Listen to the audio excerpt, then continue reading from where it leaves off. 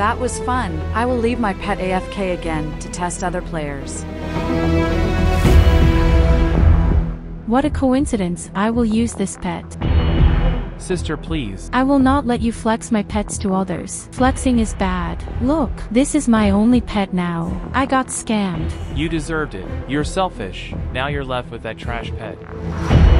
I knew it. She flexed my pet. What a poor pretender. Excuse me. Hi there, is this your pet? Of course, I saw what you did. Let me explain. No need. I knew you're a flexer. Why don't you work hard instead, poor new? And maybe you'll have the same pet as mine.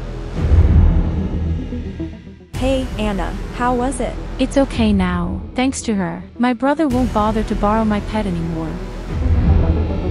Really? That's great. Come on, let's play now. Let's go. Do you easily judge others?